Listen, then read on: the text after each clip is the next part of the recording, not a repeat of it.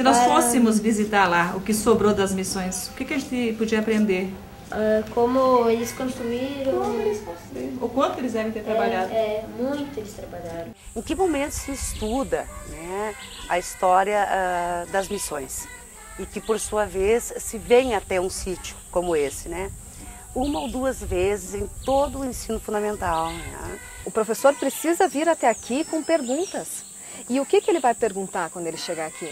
Ele vai perguntar a respeito do, da influência arquitetônica. Então, quantos leques se abrem para um professor, né? Para um professor da arquitetura, para um professor das artes, para um professor da história das religiões, para um antropólogo. Programa especial Momento Patrimônio. Acompanhe sexta, dia 1 de março, às 9 horas da noite. Reapresentação no domingo, dia 3 às 10 horas da noite, na UPF TV.